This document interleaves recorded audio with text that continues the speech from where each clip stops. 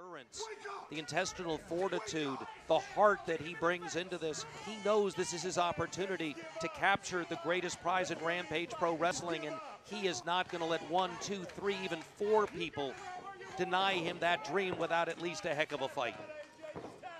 AJ Steele now being pummeled, hard shot by Jeremy Vain. And now he's on his feet, and these blows are nothing to him as he's getting his version of a second win, which is he is now just upset and he is about to take over on Jeremy Vain. Shoots him across the ropes, goes in with that clothesline, almost took his head off. Again, the clothesline. And now shooting Jeremy Vain off the ropes. Caught him with an elbow. And the clothesline. Look at this tremendous second win. I said you can do considerable damage to AJ Steele, but you nearly need to shoot the man to actually take him out. The more he hit him, the madder he got.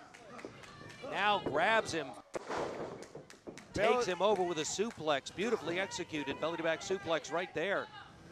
And now set and ready, but watch behind you. Rob Adonis is right there, and here comes Bobby Moore. And now Adonis up. Is the referee distracted? No, Adonis, bye-bye. Well, rocking there. But Vain able to step up and catch a blow, not with everything he had to the stomach of AJ Steele. Goes for a second, catches a second, blocked slightly by AJ in the corner. I don't think Vain knew that one was blocked. And, and he does. The referee's distracted by Murder One, and uh, but he's going to remember that. Black hole slam, he got it. He's got him covered. This is it right there. One, two, two. no, broke up. He called for the break. Called for the bell. Disqualification. Murder One can't wait. He's in. Repeated blows now. Bobby Moore in.